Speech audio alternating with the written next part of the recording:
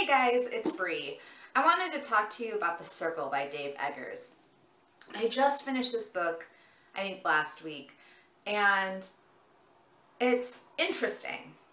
Um, it follows a young woman, Mae, who gets a job at what's essentially like the company that ate Google and Facebook and Twitter.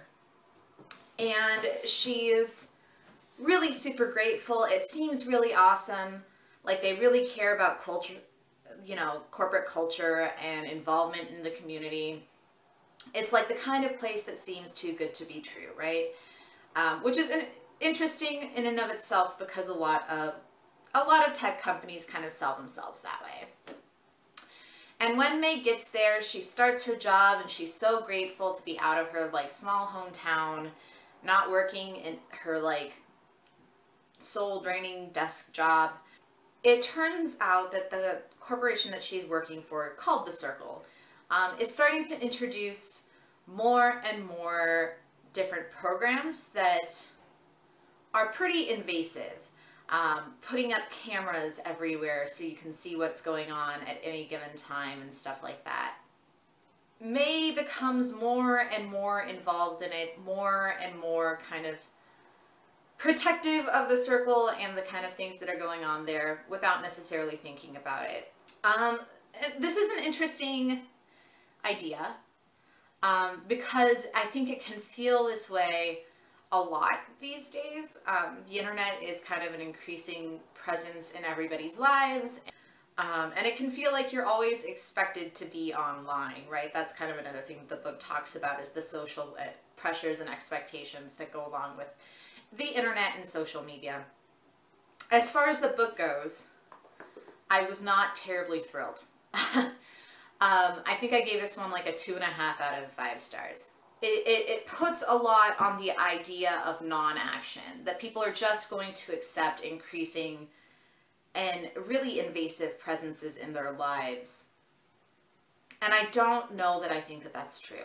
You know, want them with the presentation of the argument being that we should see everything that you're doing. I don't think that if you present things to people in a way like, we should know everything that you're doing so that we know if you're doing anything bad and then we can punish you. That's not how you're going to be getting these cameras and these invasive technologies into people's homes. And that's how Eggers has this company do it. And I don't buy that.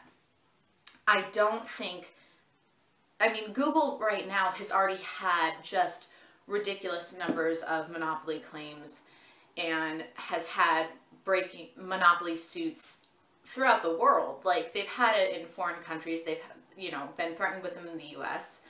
I don't think that there's going to be a company that gets much bigger than Google. Um, and I certainly don't think that out of the blue there's going to be a company that gets to eat Google. Um, that's another thing that I thought was really problematic. As far as the character building in this story goes, it made no sense to me. Um, it Mae has people on all sides, all of her family, all of her old friends being like, this is not such a good idea. And she's just drinking that corporate Kool-Aid and being like, no, we should know everything everyone's doing. And it's okay that I'm putting cameras in your house with no regard for the fact that like her parents don't want cameras in their bedroom and they tell her and they cover the cameras up and she gets all mad and like I really just don't think that when that people totally will disregard their loved ones like that. It didn't make make sense to me that she would be so blasé about like her family's privacy and not value privacy at all.